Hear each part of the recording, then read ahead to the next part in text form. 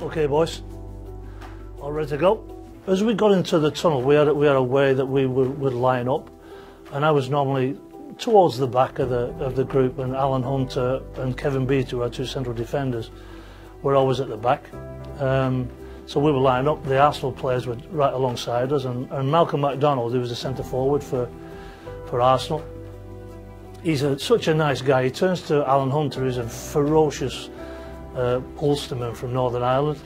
He, uh, he said, oh, Alan, he said, uh, uh, the very best of luck this afternoon. And Alan Hunter turned to him and said, I'm going to break your beep leg.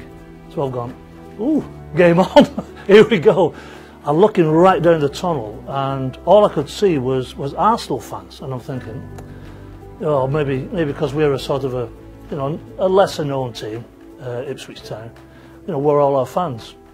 Well, as soon as we, we got out into the daylight, if you look at the footage, you can actually see some of the players turning around because there's a wall of noise that hit you and that, that literally the hairs on, your, on the back of your neck uh, really stood up. I'm, I'm getting tingles now talking about it.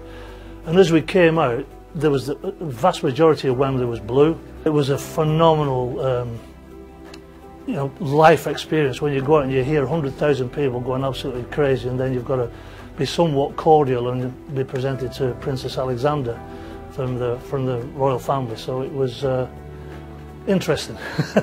but we, we, we played with with vim, with vigour, with fight. We, we, we played to the system. Um, Arsenal had one shot on goal the whole game. Um, I hit the crossbar. Johnny Wark hit the post. I think a couple of times and. Uh, culminating in, ironically, Roger Osborne, who was the bone of contention during the week. Roger Osborne got the winner in the 77th minute, 78th minute.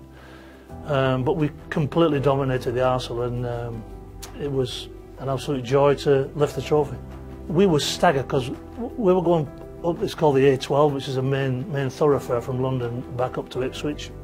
It's about a 60 mile journey and every single inch of that road was covered in fans, scarves, you name it, flags, everything was there. So because we were slowed down because of the traffic, we told the gaffer we need to pull into Chelmsford because we needed to reload. So we reloaded, got back in the bus, and eventually, uh, after a long journey, got got to Ipswich for the uh, sort of the unveiling in front of the fans.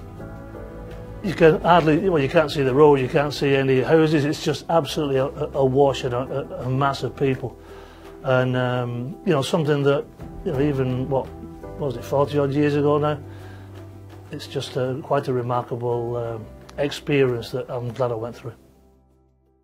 For more, sign up now for ESPN Plus.